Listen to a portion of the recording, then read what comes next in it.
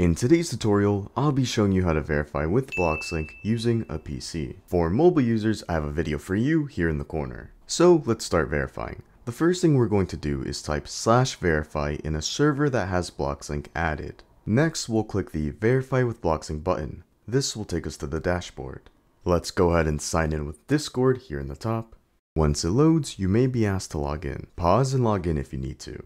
Once you get to this page, go ahead and look at the top. Double check that this is your correct Discord account. If it isn't, we'll have some problems later, so make sure it is. After double checking, let's go ahead and click authorize at the bottom. Now that we're logged in, let's click go to dashboard at the top. We can start the verification process now. Click the shiny verify now button. In the first box, let's type in the Roblox username we want to link with. Now, we have two methods to verify.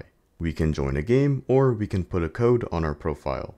For this tutorial, I'll be joining a game, but you can choose whichever you'd like. So I'll go ahead and click game verification and click next. Next, let's join the game. So click the button open verification game and a new tab will open with the game.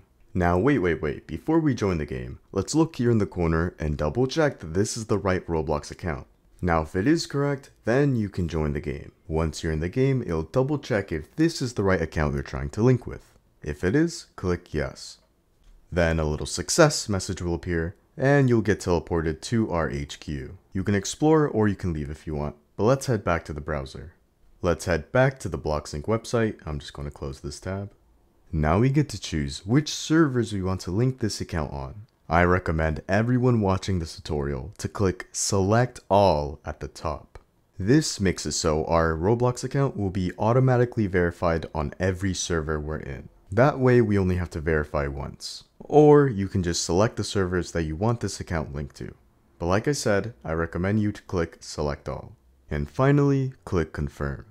And we're done! You've successfully verified your Roblox account. Now we can head back to the Discord server and retype slash verify, and your new roles should have been given to you. If this video helped you, be sure to subscribe and like, and if you have tutorial suggestions for me, leave them in the comments below.